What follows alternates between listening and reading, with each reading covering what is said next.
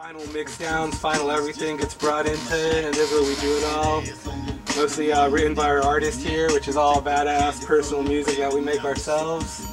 Uh, pretty much all we have right now at this little access right now that I'm going to be helping you learn to use so you don't fuck up our stuff here. Yeah. You know what I'm saying? Because this is expensive gear and I don't want anything happening to it. Definitely. definitely. I mean, I don't, don't, I know you're, you know what's up, but you know, it's Yeah. expensive. Yeah. Of course, you know, we got all the all the plugins, we got everything you need here to make good music. So I'm just I'm gonna teach you how to use them and make sure you know how to use it before you get on your own and and me risk destroying this. You know, my boss will have my head for that. He's a good guy, but this gear isn't cheap No doubt, man. for sure, man.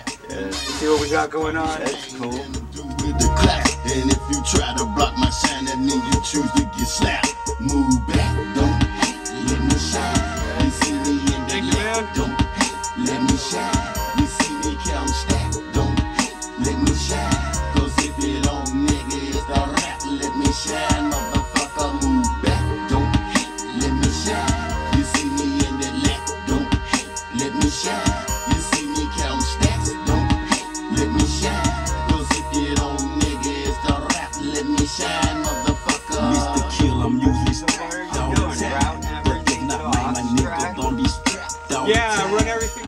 You want the lights on LA John or you want them off? No, we're good.